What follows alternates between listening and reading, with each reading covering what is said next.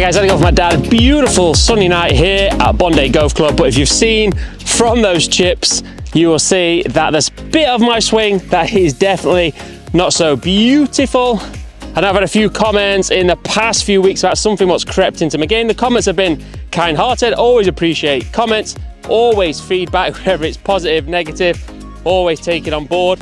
So the major thing, if you did notice from those chips and from the comments is what creeps into my game and has definitely crept into my game recently is the dreaded inside takeaway which leads to me to have two-way misses and I have to really control it with my hands. Quite handy person anyway, but I have to really control it with the hands. So it's a little swing fault that has always crept into my game throughout my time of playing golf. And there's three reasons why it's definitely just crept in recently. One is definitely practice. I've not had time to practice over the past two months with all the other work commitments that have been going on on there. Secondly, with all that work commitments, my gym mobility daily routine has not been where it should be for the past two months. And also with the extra work, I've been doing too much sitting. And when I get stiffer, the body gets stiffer. My go-to then is just to pull the club away with the hands as I get really tight and stiff in there. And thirdly, which leads on from not having time to practice and the stiffness is I sometimes struggle, which I've mentioned in previous videos, to get the club to go away, which if I've not been practicing, working on my routine, I've actually brought something in which we're gonna go through on the next video. But if I don't get my trigger to go straight away, what happens then is instead of my body taking the club and we go from, as Pete Cowen says, as we go in the spiral up, I go into my right side, but then I don't rotate with the torso here, and my hands take over, so I stop rotating, the hands go, and I get the dreaded inside, then my first move is to go over the top. And obviously with all the editing, I get to see this horrible move of mine all the time. But this week, that's enough. Got to go spend some time to get this little pattern out of my golf swing. So I spent 20 minutes, that's all it took, in the garage, hitting some balls into the net. If you look at the videos, which I'm gonna pop up, you'll see the before, really taking it on the inside, which then it leads me to push right, it pushes left. I have to get flippy, which if you see the after, which only took 10, 20 swings to do, a lot more on plane and the feeling what I had to have there, obviously feel to real are completely different. So for me to get the club to be here, feels like I'm swinging way out there. So with the trigger I'm feeling there to negate that so as I said, I just spent 20 minutes in the garage hitting 20 balls, overdoing that feeling, get myself on camera, which as I said, I've not been doing for the past two months in terms of practice, videoing the swing, seeing what's going off as it's crept in and in. So after the work in the garage, I have to bring it out to the course. So that's why we're here at Bondhay. Want to get it on camera. I won't be able to see what the actual swing looks like until I get home in the editing suite. So when you're watching this, hopefully it's definitely softened this inside takeaway. So I'm gonna hit a few balls out on the course. Obviously this move has crept in throughout my bag, in my short game, the mid irons, the driver. So I wanna see how it performs out on the course with just a few different types of shots. So we'll start with the short game. Obviously we're flipping it inside, I'm then having to save it and it's having to really flip. So we're trying to get this more on plane so my feeling, as I said, even this one, got my little trigger now, get the go. We go feet, body. Ah, it feels like I'm going out there, which I know when I see it on camera, I definitely won't be.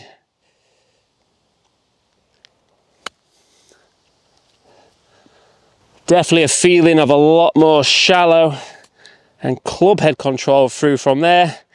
Working on a few little Bryson moves, which again I'll go on in the next video what's coming. But as we're doing that, I'm looking to get the hands, stop this move where as I get from here, my first move is then to move the shoulders that way, which is a death move. So as we're now moving, I want to feel that the hands drop in the pocket. I have moved to more of a draw shape now. Much more shallow. Really like that feeling. I have to say if I watch that back, I would say I was definitely still a little bit there. So this one, I'm gonna really try and overdo, and I bet that gets me on plane.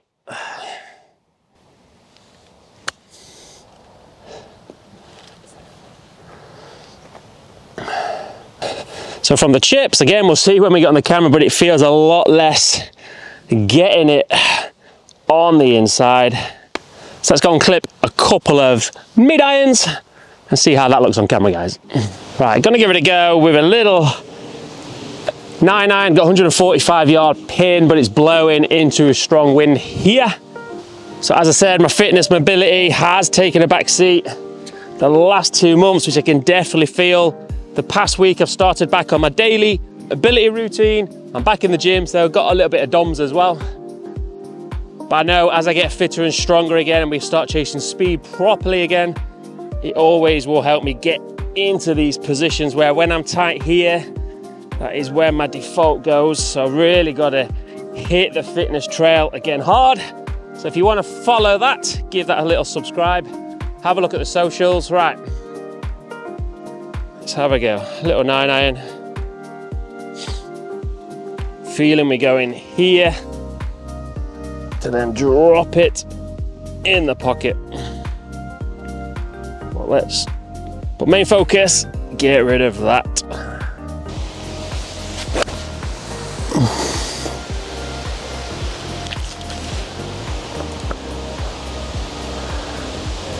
It's not the best.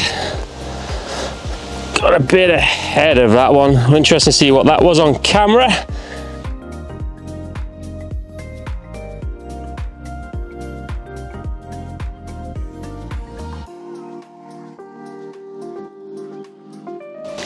Again, the follow-up to video this, I'm working on quite a few of the little Bryson setups. So I'll go through that on the next video in terms of triggers, how I'm setting up, feels. It's help him.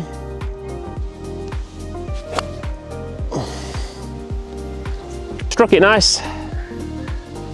So if I'm guessing on that one, it felt the first move was slightly there, and even though it went straight, that's because I'm getting over the plane, so face to path is matching, but it's going dead left and it goes that little bit further as well. So that felt really nice.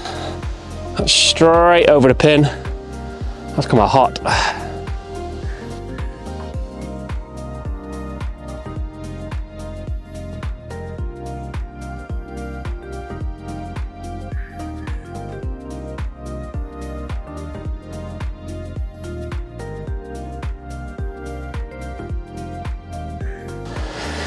That felt much better from there. Interesting to see when we get on camera what that looked like, but in terms of feels, definitely felt softer, not there. In there, that nice little yard of draw. Now, as I've said, I've moved to a little draw feel. Always been more of a fader of the ball. But again, with these little setups, we're moving to a little Bryson draw. Right guys, so as I said, that tendency has crept in through the bag, even with the short game. I like to pride myself on my short game, don't get time to practice, but I know my short game IQ is pretty good out there, but when this is creeping in, it makes controlling low point and all sorts of stuff a lot more harder.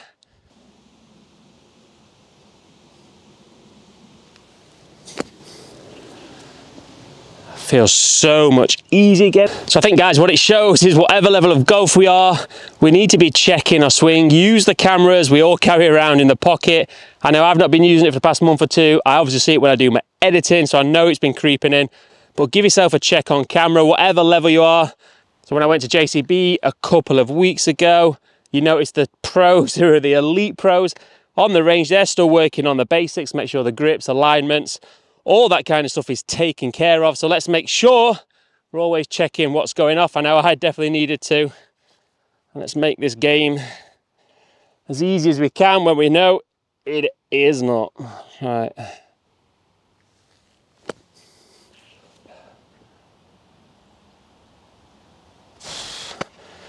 So much better playing from more here than there. Ah, better rate the bunker.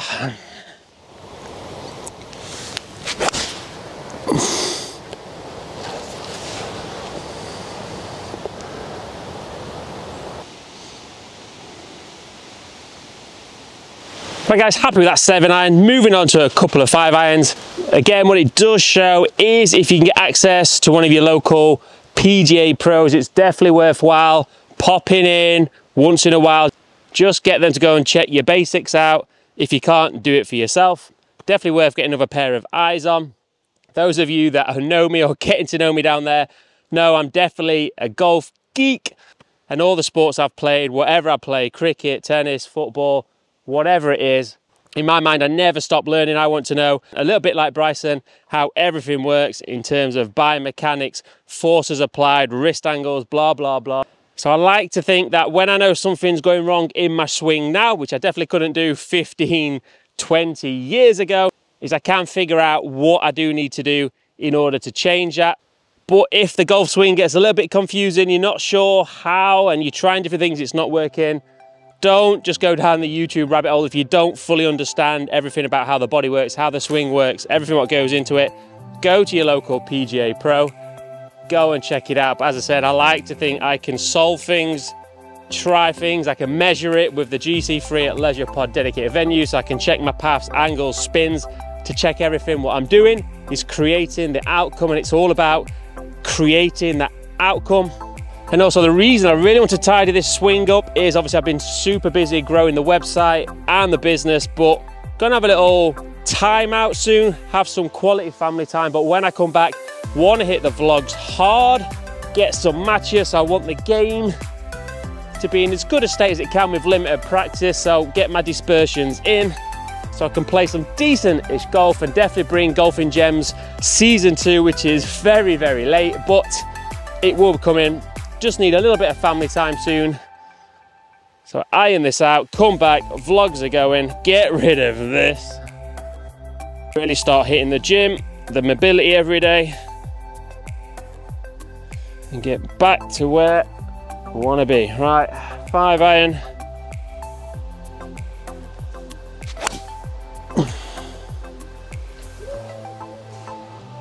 Little people, I've ripped it. Right guys, hope you enjoyed that little video. Wanted to give you a little update of what I was working on. Definitely had to tidy up that golf swing. I've definitely got to keep on top of that swing, keep monitoring it a lot more. As I said, go check out your local PJ if you're at the Bondhay Golf Club here. Pop in and see Barry and the team. They'll give you a lesson, they'll sort you out there, get those extra eyes on your golf swing. As I said, really gonna start hitting the gym hard, the daily mobility. Wanna get the course vlogs going again get some competitive matches going on there. So hopefully this little softening will bring my dispersions down. Golf's hard enough as it is, so I don't want to make it even harder. So if you're working on something on your game, get in the comments below. Let me know what you're working on. If you've got a coach, drop the name in, drop the club's mention, give me a little mention in the comments below. Also guys, don't forget to like and subscribe. It's always a big help to the channel. Right, I'm Hot Foam, gonna hit the editing suite, see how it actually looks on the camera. Probably feel I've still got a lot more work to do, but it's only been about 40 balls, so we'll keep on grinding. Right guys, until next time.